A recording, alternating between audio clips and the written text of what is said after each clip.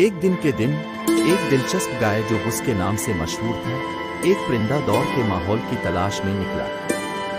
उसकी औसत उम्र की मुख्तलिफ़ बखरों की ख्वाहिश रखने वाले दीगर बकरे की तरह वो गाँव की हदूद से बाहर दुनिया के मुकाबले करने के इश्तेहारी मवाद में रहने का ख्वाहिशमंद था और एक दिन एक बहुत खूबसूरत परिंदे की वजह से फंस गया। एक मुफस्सल दिन के दिन में, जब गाँव वाले अपने सालाना मेला की तैयारियाँ कर रहे थे उसने अपने लिबर्टिन सफ़र के लिए मौका पकड़ा।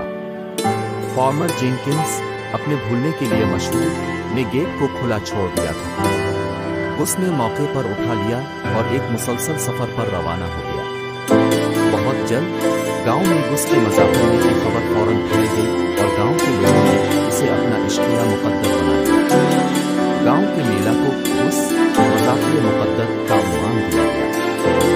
लेकिन उसकी सियाहत में मुश्किल पैदा की जब उसने मेयर के अमलाक के सोचते गुलाबों को चबा लिया।